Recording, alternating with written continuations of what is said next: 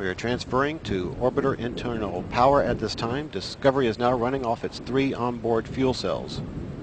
Coming up on a go for auto sequence start.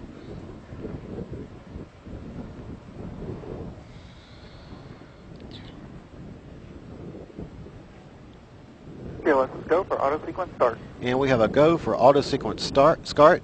Discovery's onboard computers have primary control of all the vehicle's critical functions. T minus 17 seconds and counting. 15,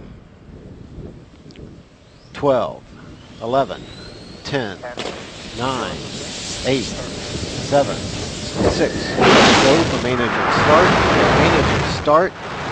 2, 1. Booster ignition and liftoff of the Space Shuttle Discovery returning to the space station paving the way for future missions beyond. Here's the Discovery roll program.